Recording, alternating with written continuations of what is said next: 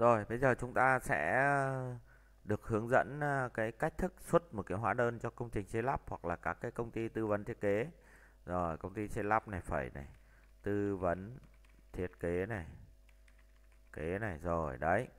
À, sau này tôi sẽ làm các cái video hướng dẫn cụ thể cho các cái mô hình công ty, ví dụ như công ty xây lắp thì làm giá thành như nào, công ty tư vấn thiết kế thì có những cái phần nào là cụ thể cho các bạn để các bạn có thể biết luôn kế toán qua cái phần xem làm phần mềm thế nào chứ không cần phải đi học ở đâu cả.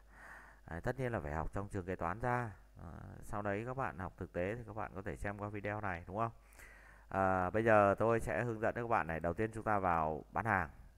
Thì chúng ta lưu ý là ở trong cái đối tượng tập hợp chi phí này của chúng ta là có mấy cái công trình này công trình một công trình không hai này. Chúng ta vào bán hàng. Chúng ta chọn thêm mới. Ở đây có thể sử dụng phím Ctrl N và ấn Ctrl N trên bàn phím nó hiện lên. Bây giờ chúng ta lập sẽ là hóa đơn bán hàng dịch vụ. Các bạn tích lần thứ nhất nó sẽ bỏ cái nút kiếm phiếu score tích vào đây. Rồi sửa lại đây tí nó tích vào phát được luôn nhé các bạn nhé chúng ta xuất công trình cho cái này. Tất nhiên cái thao tác này nó cũng không ảnh hưởng gì nhiều. Nhưng mà nó làm chậm đi các bạn một phần nghìn giây. Ở đây là ví dụ như à, phần uh, doanh thu công trình 01 đấy ở đây chúng ta chọn này. Uh, ở đây thì chúng ta có thể tổ chức lại cái danh mục tài khoản này bằng cách là đổi tên nó nhá các bạn nhá. Ở đây ví dụ chúng ta là bán hàng là liên quan đến hàng hóa 156 này à, thành phẩm là 155 này cái thằng dịch vụ này đi công trình này nhá.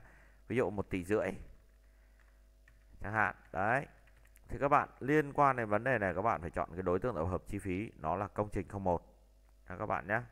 Ở đây chúng ta chọn tiếp này là thuế 10% thế thì ở trong cái liên quan đến công trình có mấy phần trăm thuế vãng lai ấy, các bạn lưu ý đấy các bạn đã kê khai rồi ờ, đã nộp rồi đã, đã nộp tại cái cơ sở địa phương mà các bạn thi công trình là các bạn ví dụ các bạn đã nộp 3% rồi thì bây giờ các bạn chỉ còn nộp 7% thôi nhưng về hóa đơn chúng ta xuất thì chúng ta phải đầy đủ 10% còn cái phần đấy nó sẽ qua cái công nợ 131 đối với cái đối tượng này này.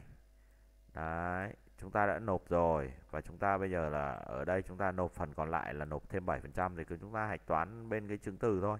Bên cái chứng từ ủy nhiệm chi hoặc là cái à, à, cái phiếu chi tiền mặt khi chúng ta nộp thuế. Thế sau khi chúng ta lập xong ấy thì các bạn sẽ chọn lưu à, số hóa đơn không được bỏ trống này, đang sai này là nó là hóa đơn giá trị gia tăng chứ không phải là hóa đơn xuất khẩu. Hóa đơn giá trị gia tăng các bạn nhé. Ở đây phần thuế giá vốn nó sẽ hiện lên. Ok các bạn chọn lưu. Thế là các bạn đã lập xong cái hóa đơn công trình. Thế thì có một cái điều mà nó lên ở đây là, là số liệu nó lên ở đâu? Các bạn vào cái phần giá thành công trình các bạn ấy nhìn thấy. Đấy giá thành công trình này. Ra vào phần giá thành công trình đi. Các bạn nhìn thấy bảng tổng hợp giá thành công trình này đây chúng ta chọn tất cả đi. Như ví dụ thế đúng không? Các bạn nên nhìn thấy cái bảng tổng hợp giá thành nó sẽ lên phần doanh thu này và phần thuế này cho các bạn. Đấy các bạn nhìn thấy là phần a à, cái phần doanh thu này các bạn lưu ý là nó sẽ lên khi chúng ta kết chuyển lên 911 ở đây ví dụ chúng ta thực hiện một cái nghiệp vụ tổng hợp này. Đấy giá thành công trình đâu? Giá thành công trình nhá. À, cái chuyển chi phí. À, cái chuyển lãi lỗ đi đúng không? Nó lãi lỗ nó lao lên 911 đúng không? Ở đây các bạn nhìn thấy ở đây chúng ta chọn tổng hợp này. Các bạn nhìn thấy là 511 này. Nó sẽ nhìn thấy nó gán một tỷ rưỡi này. Vẫn là 5113 này nó gán một tỷ rưỡi vào công trình này. Thì nó sẽ lên phần giá thành các bạn nhé. Thế chúng ta chọn lưu phát. À, tôi sẽ quay lại cái phần giá thành này. À, Đấy, các bạn sẽ nhìn thấy được rõ là cái phần này đây là số liệu ví dụ của một công ty thành ra đấy như các bạn nhìn thấy đây. Ok nhé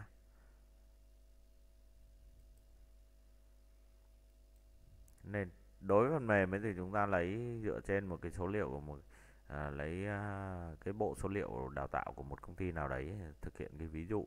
À, đây là cái bộ số liệu giả định nên các bạn không cần bận tâm đến cái chuyện là số liệu nó lên như nào. Chỉ nó làm sao tất cả các thao tác của các bạn là đều phải lên số liệu và hoàn chỉnh là phải lên hết hệ thống báo cáo cho các bạn.